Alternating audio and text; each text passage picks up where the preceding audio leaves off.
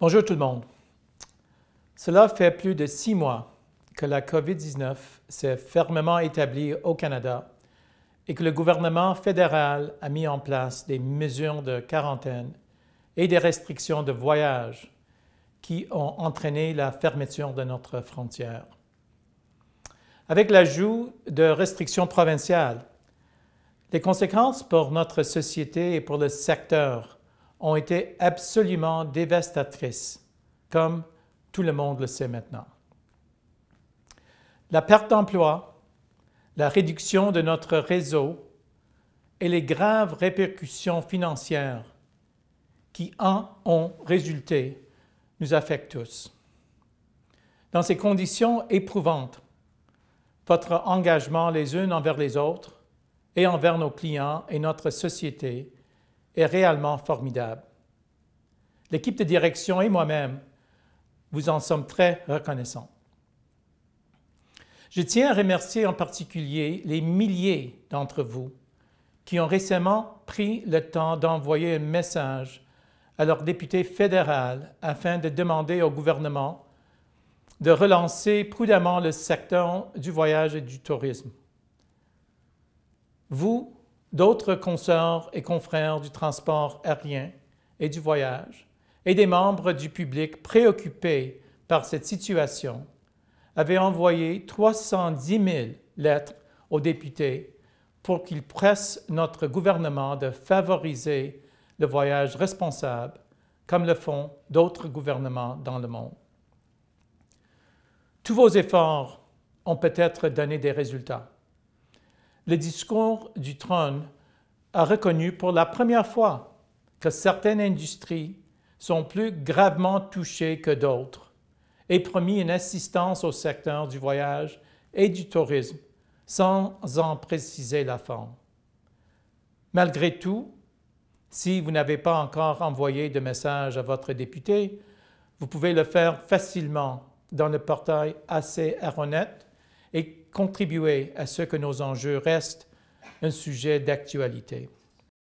Il est essentiel de faire entendre notre voix. Mais nous ne pouvons pas simplement attendre que le gouvernement agisse. Nous faisons tout ce qui est imaginable pour rétablir les voyages en toute sécurité. Je répète souvent que la meilleure stratégie, c'est de compter sur nous-mêmes, de rester financièrement solides, de nous montrer aussi audacieux et entreprenants qu'une jeune entreprise, et de cultiver la souplesse et l'esprit d'initiative. C'est pourquoi nous avons choisi d'être un chef de file de notre secteur. Nous avons rendu les masques obligatoires à bord de nos avions et prenons la température de chaque client avant l'embarquement. Presque aucun transporteur ne prenait de telles mesures, maintenant devenues la norme dans le monde entier. Le programme de biosécurité Air Canada Soins Pro Plus est un autre exemple de notre rôle de chef de file. Nous avons mis en place des mesures de sécurité du départ à l'arrivée pour protéger nos clients et les assurer qu'ils peuvent voyager en toute sécurité. Aujourd'hui, nous sommes encore à l'avant-garde. Cette fois, nous commanditons une étude de McMaster Health Labs, un organisme de recherche sur la COVID-19 de grande réputation. Dans la plus vaste étude du genre, il teste les voyageurs internationaux arrivant à l'aéroport Toronto Pearson. L'étude vise à recueillir des données pour évaluer le degré d'efficacité des mesures de mise en quarantaine du Canada. Les éléments probants permettront de proposer des solutions de rechange scientifique tout aussi efficaces. C'est un point clé car nous savons par expérience et d'après des sondages faits auprès des voyageurs que la période de quarantaine obligatoire de 14 jours a un effet dissuasif majeur sur les voyages en avion. Notre partenariat avec McMaster a déjà un effet positif. Nous avons favorisé le débat public sur les tests, les règles de quarantaine et les mesures scientifiques en général. Et le lendemain de l'approbation par le gouvernement du Canada des premiers tests de dépistage rapide de la COVID-19 au pays, nous annonçons que nous finalisons notre propre contrat avec Abbott pour les tests rapides. Nous sommes la première entreprise privée du pays à le faire. Pour stimuler davantage la reprise des voyages, nous affinons aussi nos offres de produits. Depuis ce mois-ci, Air Canada et Vacances Air Canada incluent gracieusement une assurance voyage pour la COVID-19 à l'intention de leurs clients.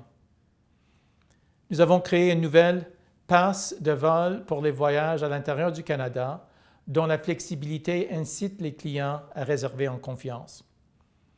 Nous avons rouvert nos salons feuilles d'érable à Toronto et à Vancouver et nous avons rétabli et amélioré certaines de nos offres à bord.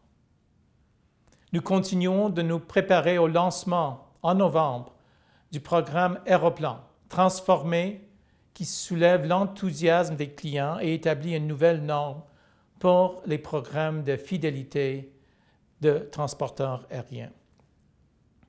Plus récemment, nous avons conclu des opérations de financement qui ont permis de mobiliser un autre milliard et demi de dollars.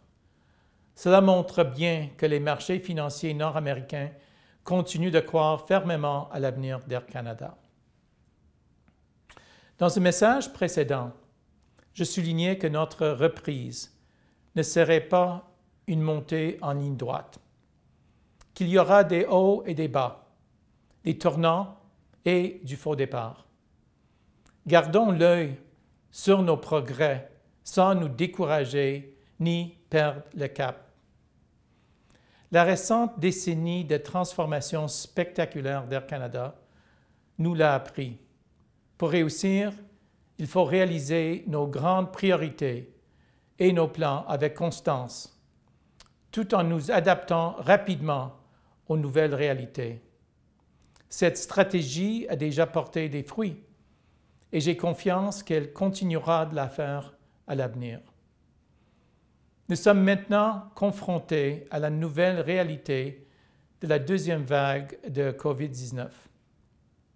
Il en résultera plus d'incertitudes, mais je sais que la résilience et l'optimisme qui nous ont portés ces six derniers mois nous permettront d'atteindre l'autre rive.